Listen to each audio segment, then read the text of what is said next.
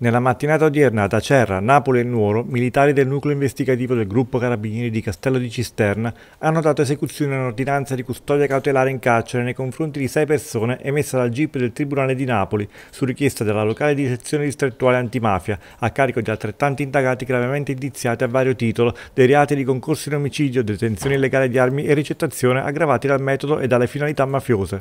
L'attività investigativa svolta dal citato nucleo e coordinata dalla DDA di Napoli ha consentito consentito in sintesi di documentare l'esistenza e l'operatività di due gruppi criminali, uno formatosi da Fragola e coagulatosi intorno a Cosimo Nicoli, classe 77, e l'altro guidato da Bruno Avventurato, classe 75, operante ad Acerra. I due sodalizi in accordo tra loro hanno ideato e organizzato l'omicidio di Pasquale Tortora, elemento di spicco dell'omonimo clan attivo ad Acerra e Casalnuovo di Napoli, avvenuto il 20 maggio 2020. Nell'occasione il gruppo Avventurato aveva fornito il necessario supporto logistico ai sicari, mentre il Nicoli si era preoccupato di reperire serial killer. Per tale assassinio il nucleo investigativo Carabinieri di Castello di Cisterna ha già arrestato gli esecutori materiali del delitto in conseguenza dell'emissione di una misura cautelare richiesta dalla DDA partenopea ed emessa dal competente giudice per le indagini preliminari. Il duplice movente dell'omicidio, vendicare l'uccisione di Giuseppe Avventurato, fratello di Bruno e già capo dell'omonimo gruppo di cui si riteneva responsabile il predetto Tortora, e suggellare un patto tra i due gruppi camoristici finalizzato ad assicurarsi il controllo congiunto